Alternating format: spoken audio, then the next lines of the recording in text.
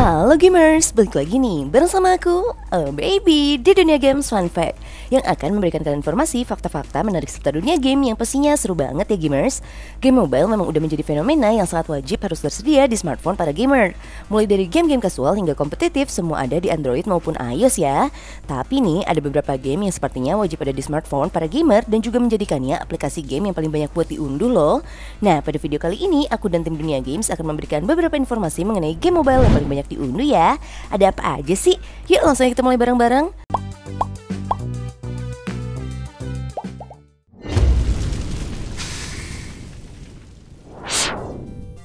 Masuk ke game yang pertama ada Clash of Clans.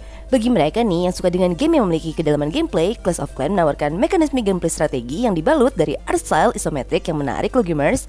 Di samping itu, game garapan Supercell ini mengusung sistem online sehingga mungkin main untuk saling berkompetisi dengan pemain lain dari seluruh dunia nih gamers. Game ini tentu memiliki sejumlah elemen microtransaction di mana pemain bisa mengeluarkan uang sungguhan untuk mendapatkan item eksklusif atau keuntungan tertentu ya. Namun nih itu semua opsional dan pemain bisa dengan mudah memainkan game ini secara gratis tanpa harus mengeluarkan uang spesial besar pun ya gamers.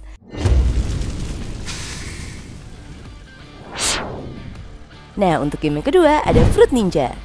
Mungkin menjadi game paling sederhana di daftar ini ya gamers. Fruit Ninja dimainkan dengan cara tak lebih dari sekedar melakukan swipe di layar. Misi utamanya memotong sebanyak mungkin buah yang dilempar sembari menghindari bom yang dapat membuat permainan berakhir. Kombinasi antara kemudahan bermain dan rasa ketagihan yang muncul dalam bentuk mencatat sebanyak mungkin poin nih gamers terbukti nih sukses di mana Fruit Ninja berhasil menjadi salah satu game mobile paling banyak diunduh sepanjang masa loh. Selain via jari dengan musap layar, Fruit Ninja juga bisa dimainkan lewat virtual reality dengan controller dan juga dengan sensor gerakan.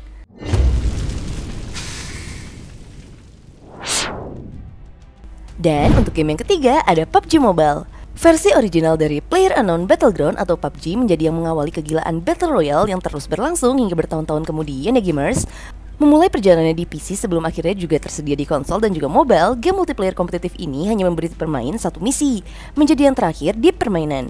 Meski game ini serupa dengan Fortnite, mulai mengalahkan popularitas PUBG untuk game dengan genre Battle Royale-nya gamers, tidak dapat disangkal jika PUBG memiliki pengaruh yang sangat besar terhadap lahirnya berbagai game Battle Royale yang saat ini.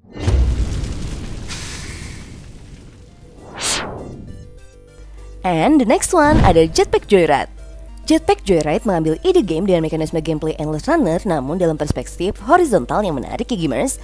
Pada game yang satu ini, pemain mengendalikan seorang pria bernama Barry Fries di mana ia berusaha untuk melarikan diri sembari menghindari berbagai macam rintangan dengan jetpack dari lab. Untuk mendapat skor tinggi, pemain bisa menyelesaikan misi dan tugas yang diberikan ya gamers, sama seperti banyak game mobile yang paling banyak diunduh lainnya. Jetpack Joyride merupakan tipe game yang sederhana namun di sisi lain masih menawarkan tantangan bagi mereka yang ingin merasakannya. Nah, untuk game yang terakhir nih ada Garena Free Fire. Dengan fenomena Battle Royale yang masih terus populer, ada semakin banyak game Battle Royale yang lahir terutama untuk platform mobile ya. Menariknya nih, banyak dari game Battle Royale itu tidak sejatinya terkenal PUBG ataupun Fortnite, namun karena faktor tertentu tetap bisa diunduh oleh banyak pemain. Salah satu game itu adalah Garena Free Fire, game Battle Royale di mana 50 pemain diterjunkan ke satu area yang sama untuk kemudian saling bertarung untuk menjadi yang nomor satu. Meski konsep yang dimiliki oleh game ini bukan original, namun berkat konten menarik yang dimilikinya, Free Fire jadi bisa berhasil dan mendulang banyak kesuksesan dari segi komersil.